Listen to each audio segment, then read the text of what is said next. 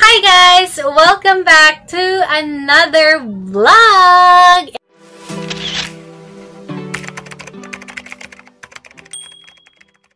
It's me, Annie, and welcome back to my channel, guys. I'm so excited and so happy to be back.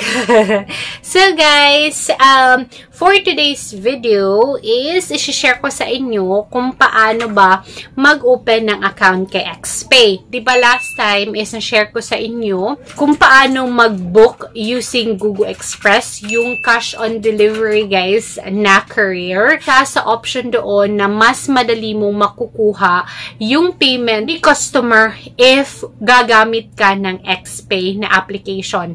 Kasi si XPay guys is tie up siya with Google Google Express. So, once nagbayad si customer, so na-deliver yung item niya, nagbayad si customer, after 1 to 2 days, guys, is papasok na yung payment mo sa XPay account. Kasi guys, if gagamit ka ng bank account, let's say BPI, after 3 days pa, makukuha or makikredit yung payment mo and yung other bank after a week. So, at least, if may XP account ka, mas madaling papasok yung binayad ni customer sa item na na-deliver sa kanya. So, ngayon, is-share ko sa inyo kung paano ba mag-apply or kung paano ba magkaroon ng XPay account. But before anything else, guys, don't forget to hit the bell button para updated ka if may bago akong video and don't forget to subscribe para updated ka if may bago akong uploads. Kagaya ng video na to, guys. So, let's hop into the video and I'll show you kung paano ba gumawa ng XPay account. Yan guys, first is hanapin natin sa XPay, sa App Store yan, sa XPay. So, nakapag-download na ako ng XPay guys. So, i-open na lang natin siya. So, kailangan lang nating mag-sign up. And then, um, kailangan nyo lang i-fill out lahat ng mga information na kailangan ni XPay. Yan. Lagay natin yung email natin.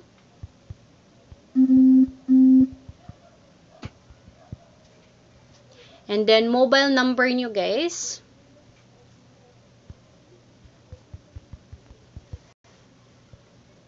Yan. And password. Ka ng password mo. And then, don't forget, guys, yung password mo kasi yun yung gagamitin mo if magla-login ka. So, yan. Yan. And then, click mo lang yung terms and condition ni XPay. So, nakalagay dito your password must at least 8 characters. So, yan guys. After nyan,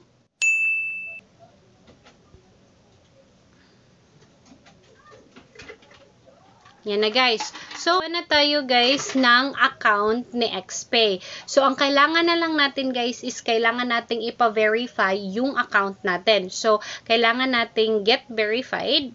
So, yan. And then, may IDs na kailangan si XPay, guys. So, ito yung mga IDs na kailangan meron ka.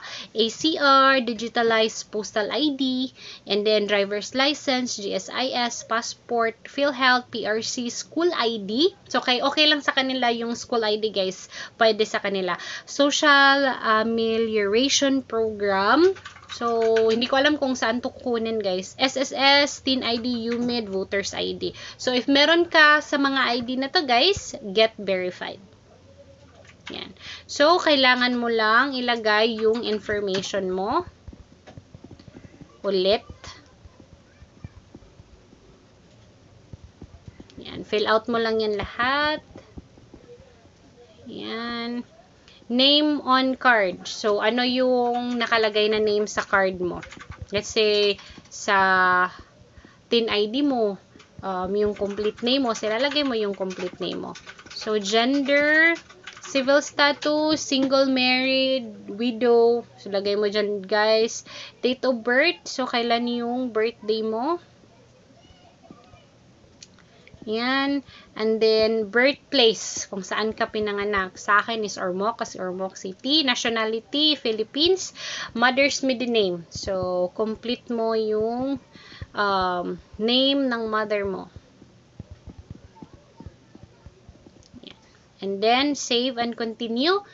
Yan guys, ID type. So, ano yung ID na available ka? So, sa akin is TIN.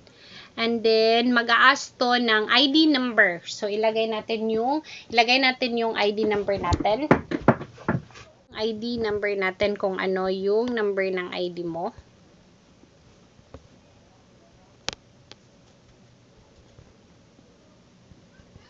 So, yan. And then, take a photo. So, kailangan mong picturean yung ID mo. So, yan.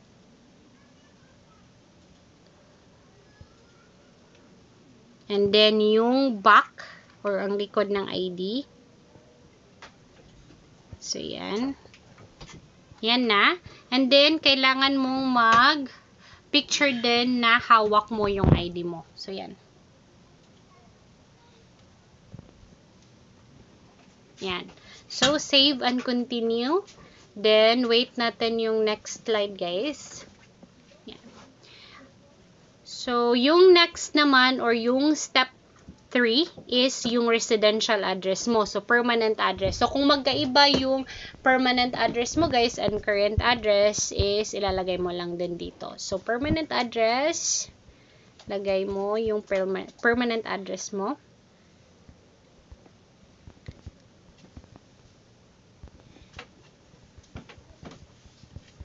Yan.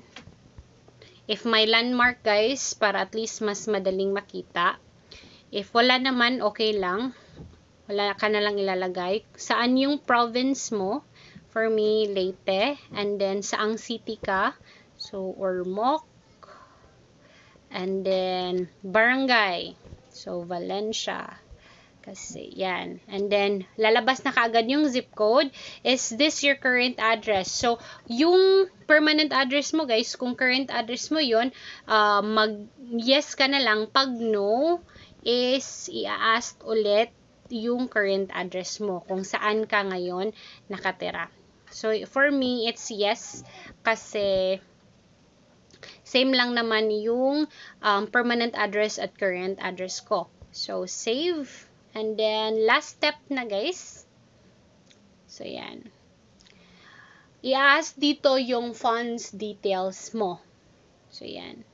So, ano yung source of income mo? Like, if nagbi-business ka, like, if nagwo-work ka. So, yan. Pipili ka lang. Like, allowance. If gusto mo yung allowance mo is dito ipadala. XPay to XPay. Pwede, guys. Employment status mo, guys. Nature of work And then, company organization. So, kung saan ka nag-work. If nag-work ka, address, name ng company, and yung location, guys. After yun, guys, is isi-save mo na yung account mo. And then, after nyan guys, is mag-wait tayo ng 1 to 3 days para ma-approve yung prove yung verification mo or para ma-verified ka ni XPay. And ito na yung lalabas guys. Tadaan! So, nakalagay dyan 1 to 3 days processing. But for me guys, is hindi lang siya nag 24 hours na approve na kaagad ako. So, makakatanggap ka ng email na ganito. Tadaan! Yan yung email na matatanggap mo na congratulations, verified na yung account mo with XPay and pwede mo na siyang i sa Google Express mo para yung um, binayad ni buyer sa inyo is direkta nang pasok sa XP account mo within 2 days, guys. So, yan na, guys. I hope na makatulong tong video na to, guys. And please share this video para at least makahelp din tayo sa mga co-sellers natin, especially sa mga um, sellers na nagsisell sa Facebook is hindi na siya hassle kasi yung account mo sa XPay is pwede mo din siyang pambayad sa mga bills, pwede siyang, um, pwede kang mag-buy load, and then, yung amount mo dito guys is pwede mo siyang i- um, send to other bank. So, let's say, if may laman yung XPay mo, pwede mo siyang i-transfer to other banks, guys.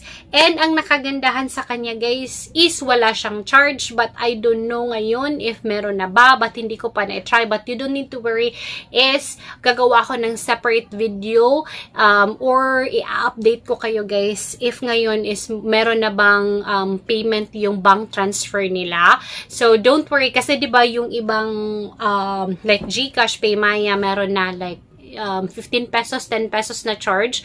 But, hindi ko alam kay X, um, XP if meron na siya per fee nila, guys. So, I'll just update you guys and if may mga questions pa kayo, please comment down below para at least ma-answer ko siya isa-isa. Baka may mga nakalimutan ako na, na i-share dito sa video na to. So, don't forget to like this video, guys. Share the video para at least makatulong tayo sa mga co-sellers natin na nagsisell din online kasi it's a big help. And don't forget to click the notification bell para updated ka if may bagong kong videos and subscribe na din kayo sa channel ko, guys. So, thank you for watching mga ka-Anilobs. Bye! See you next time!